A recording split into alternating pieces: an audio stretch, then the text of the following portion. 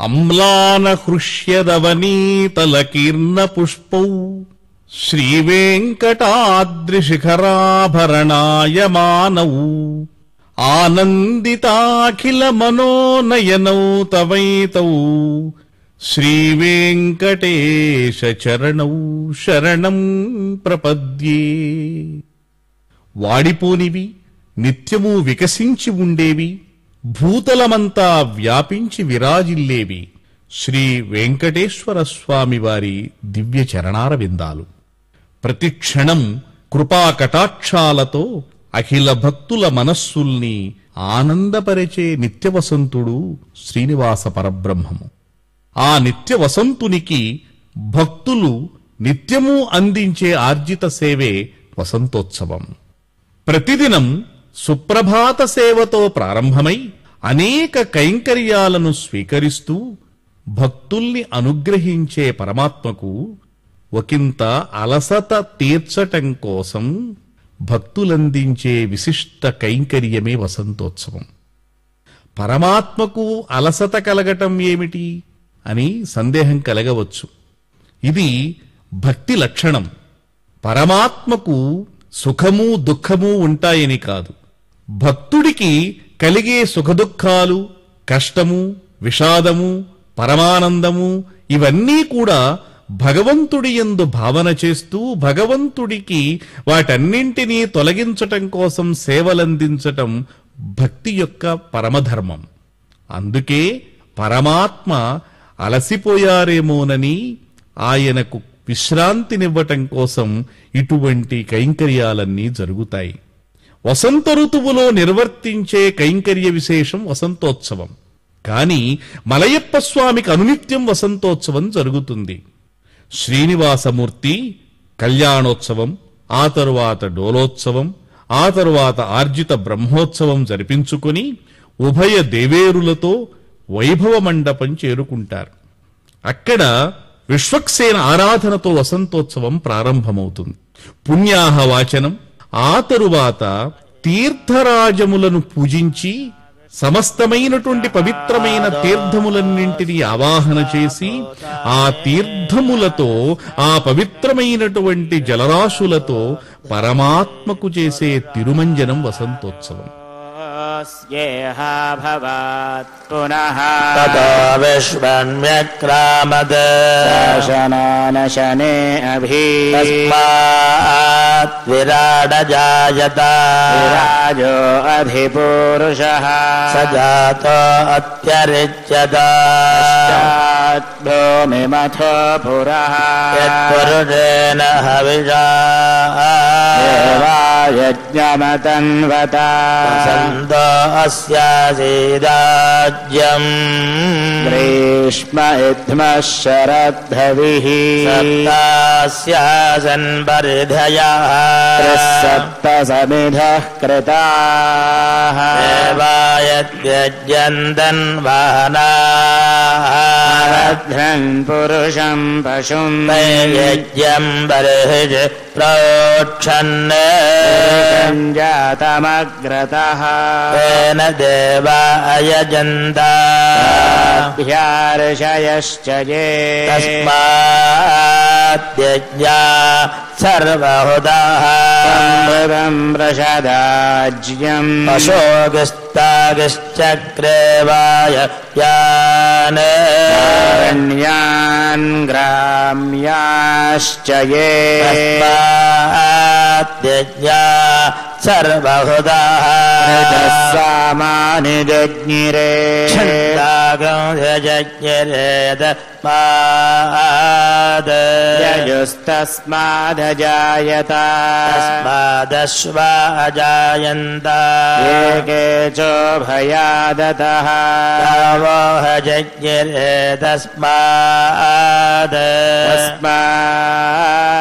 तस्माज्जाता अजावयः। पुरुषं व्यदधो विधाप्यकल्पयन्।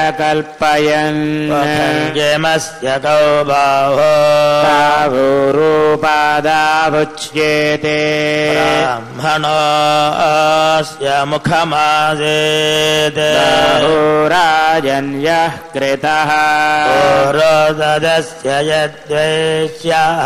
तद्भ्यागं शूद्रो अजायत। मनसो जातः। चक्षुः सूर्यो अजायत। मुखादिन्द्रश्चाग्निश्च प्राणाद्वायुरजायत। अभ्यासेदन्तरिक्ष। शीर्ष्णोद्यौ समवर्तत अभ्याम् भूमि दिशश्रोत्रात् तथा लोकागुम् अकल्पयन्। वेदाहमेतम् पुरुष महान्तम्। आदित्यवर्णन्तमसस्तु पारे। सर्वाणि रूपाणि विचित्य धीराः नामानि कृत्वाभिवदन यदास्ते धाता पुरस्ताद्यमुदा जहारा प्रविद्वान् प्रदिशश्च तस्रः। तमेवम् विद्वानमृत इह भवति। नान्यः पन्था अयनाय विद्यते। येन यज्ञमयजन्त देवाः तानि धर्माणि प्रथमान्यासन्। देहनागम् महिमान सजन्ते पूर्वे साध्याः सन्ति देवाः। अभ्यः सम्भोद पृथिव्यैरसा च। विश्वकर्मणः समवर्तताधि। तस्य त्वष्टा विदध द्रोपमेदे तत्पुरुषस्य विश्ववाजानमग्रे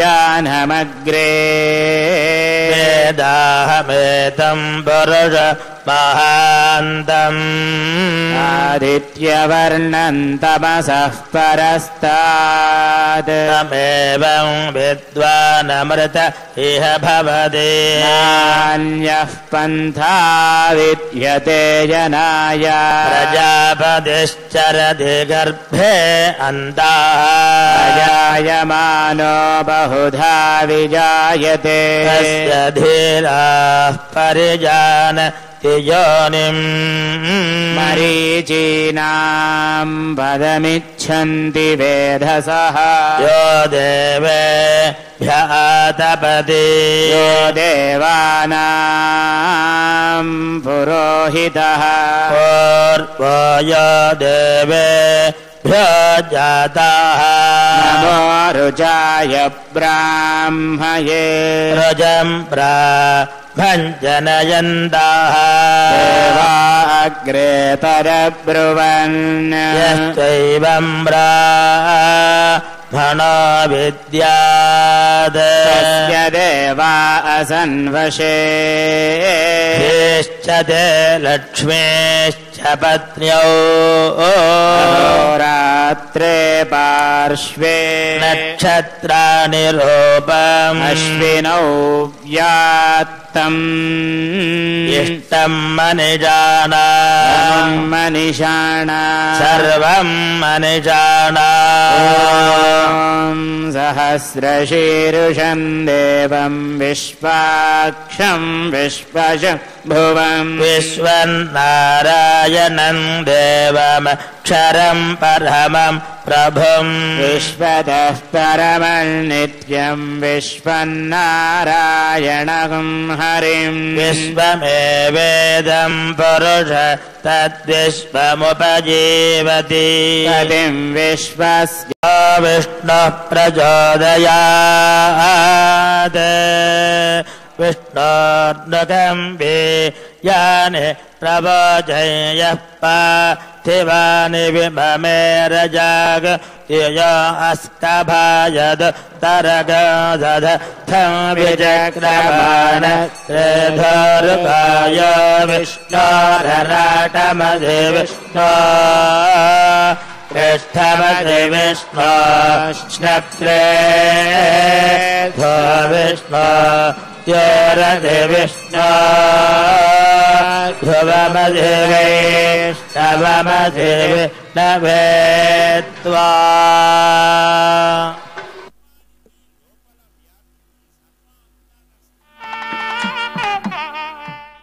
వసంతోత్సవంలో కమనీయ తులసీ మాలాలంకృతులై ఉభయ దేవేరులతో కూడి విరాజిల్లుతున్న మలయప్ప స్వామి కన్నులకు విందు చేస్తున్నారు. తులసీమాలతో మురిసిపోతున్నారు స్వామి. ఎందుకుని? తులసి అంటే ఇష్టం శ్రీమన్నారాయణునికి. కపిల గోవులంటే ఇష్టం. ఈ రెండూ ఇష్టమైనవి అత్యంత ప్రీతికరమైనవి శ్రీ మహావిష్ణువుకు అని ఆగమ శాస్త్రాలు నిర్దేశించినాయి. తులాం శతి ఇతి తులసి అని నిర్వచనం. అంటే సాటి లేనిది అని అర్థం. ఎందులో సాటి లేనిది అంటే గొప్ప ఫలితాలను ఇవ్వటంలో సమస్త ప్రాణికోటికి శుభాలను చేకూర్చటంలో పుణ్యములను కలిగించటంలో తులసి సాటి లేనిది తులసి కోట పుణ్యముల ఊట. అది భక్తికి రాచబాట. సాధారణంగా ప్రతి ఒక్కరూ తులసి ఆకు ఒక్కటే కోసి దానితో మాలలు కట్టాలనుకుంటారు కాని అలా కాదు. తులసి దళం అంటే మూడు ఆకులతో కూడినటువంటి సమూహం ఏది ఉందో ఆ తులసి దళాన్ని స్వీకరించాలి. ఆ తులసి దళమంటే పరమాత్మకు ఎంతో ఇష్టం. ఉభయ దేవేరులు మలయప్ప స్వామి తులసి మాలాలంకృతులై సమస్త భక్త కోటిని అనుగ్రహిస్తున్నారు. సహస్రశీర్షా పురుష సహస్రాక్ష సహస్రపాత్ అని వేదము అభివర్ణించినట్లు సహస్రశీర్షుడు సహస్రనాముడు సహస్రపాత్ అయిన ఆ పురుషోత్తముడికి సహస్రధారా పాత్రాభిషేకం అజస్ర పుణ్య ఫలం.